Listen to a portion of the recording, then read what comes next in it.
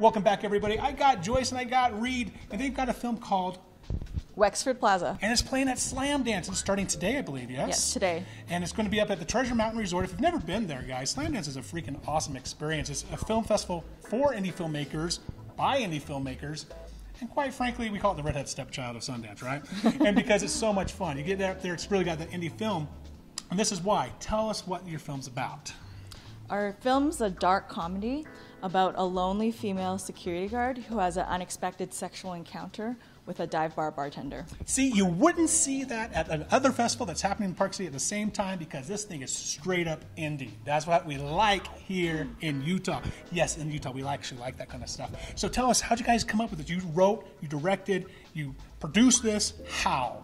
How did you do this without going nuts? Or are you absolutely insane now? Um, I think it, it's it's a bit insane right now. I haven't slept all week because it hasn't stopped yet.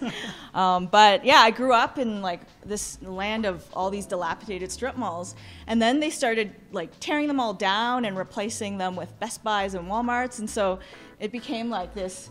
Like I want to make an ode to these these places where we loafed around and got up to. We're starting to make us feel dated, though, because now we're talking about the strip mall and that whole culture of just hanging out in that area. Yeah. Watch out, little kids. We used to have this thing called strip malls where people left to go buy things, not like Amazon where you do it online.